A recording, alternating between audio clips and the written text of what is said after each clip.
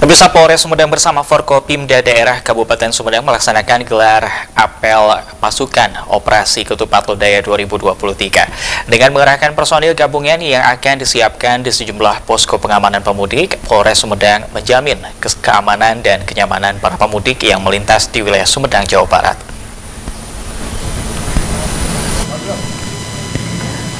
Polres Sumedang bersama Forkopimda Kabupaten Sumedang melaksanakan gelar apel pasukan operasi Ketupat Lodaya 2023.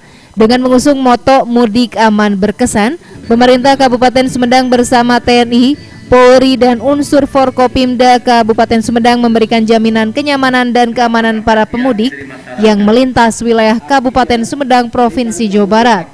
Usai melaksanakan apel gelar pasukan, Polres Sumedang langsung memusnahkan ribuan miras berbagai merek dan ratusan petasan hasil sitaan selama bulan suci Ramadan. Sebanyak 2011 botol minuman keras berbagai merek, petasan serta tuak dimusnahkan dengan cara dilindas menggunakan alat berat. Pemusnahan tersebut disaksikan langsung Bupati Sumedang, Forkopimda Sumedang, tokoh agama, tokoh pemuda serta perwakilan ormas se-Kabupaten Sumedang. Kapolres Sumedang AKBP Indra Setiawan mengatakan ribuan botol miras tersebut merupakan hasil operasi cipta kondisi Polres Sumedang.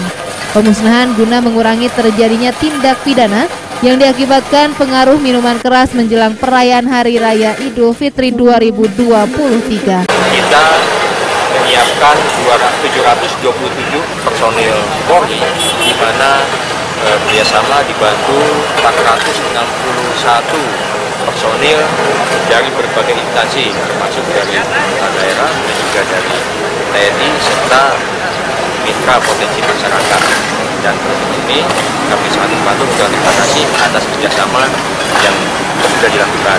Nah, kemudian pada kesempatan ini juga seperti tadi kalian sudah mengikuti kita ada pemusnahan miras dan juga petasan di mana merupakan hasil kegiatan rutin yang ditingkatkan.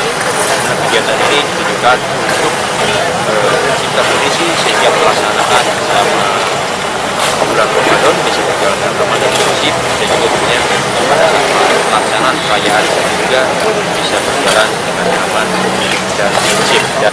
Diharapkan dengan pemusnahan miras ini, masyarakat bisa melaksanakan perayaan Idul Fitri dengan aman dan nyaman. Diki Guntara, Bandung TV.